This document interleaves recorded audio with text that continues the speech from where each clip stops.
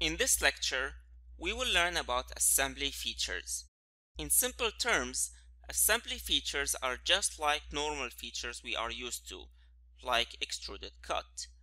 However, assembly features will be applied to the assembly itself rather than the part.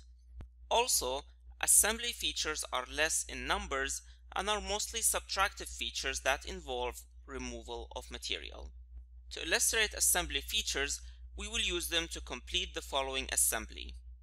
You can download the drawing and the assembly files from the download section linked to this lecture. So let's get started. In this exercise, we're going to drill two holes that are shown in the drawing.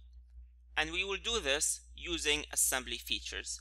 So if I go to the assembly tab on the top, I will see there is a tab called assembly features. And if I expand this, I will get a list of features that are mostly subtractives. So I'll start by drilling the hole on the top and I will use extruded cut for this. I will pick this top surface as a sketch plane and then I will simply sketch my hole. This is the center and then the dimension of the hole is 1.25 inches in diameter. This fully defines the sketch so now I'll go back to my assemblies, assembly features and select extruded cut. And for the end condition, I will drill through all. And then click OK. So now I have a hole made that goes all the way through the assembly. Now I'll go ahead and do my other hole. So I select this surface as a sketch plane. And then I will draw a circle. The diameter of this circle is 0.4 inches. And then I'm going to Assembly tab, Assembly Features, Extruded Cut again, and then go through all as well. And then click OK.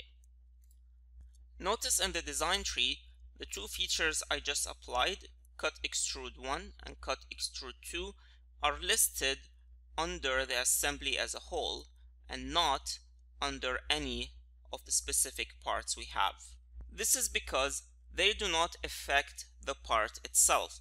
So if I go to the rod and open it separately by right clicking and then select open part, you will notice that the rod does not have any of the two holes we just drilled.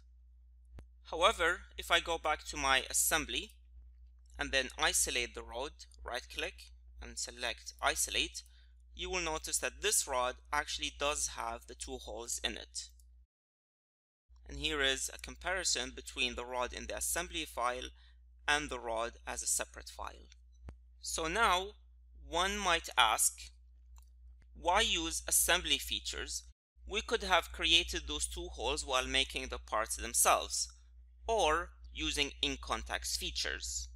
And the answer is yes, we could have done that. However, with assembly features, we are trying to communicate a specific design process. We are trying to say that the individual parts should be manufactured without the holes, then assembled together, and after they get assembled together, the holes should be drilled. If we include the holes in the individual parts, we'll be saying that each of the parts should be made with the drilled hole. Then the parts should be assembled together after that. Depending on your design intent, this can make a big difference. And by this, we conclude our lesson on assembly features.